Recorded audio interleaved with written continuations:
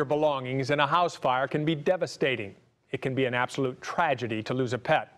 New tonight, Fox 4's Tara Hall is working for you with how one fire department is now equipped to prevent that.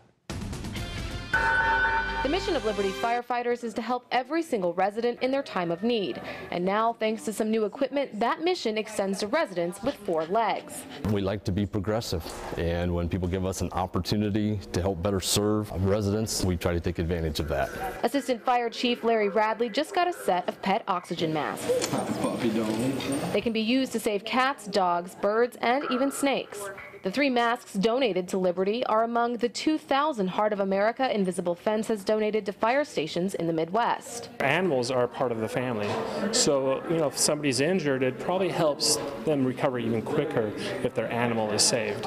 Invisible Fence brand has donated more than 10,000 pet oxygen masks across the United States and Canada, and now the company wants to do more by making sure that every fire station in the country is equipped with at least one life-saving mask. Hopefully, it'll increase the outcome of owners and their pets so that they could be reunited and continue to have meaningful life. The fire department says the masks will also help save humans because sometimes pet owners will forego treatment and even run inside a burning home to try to save a pet.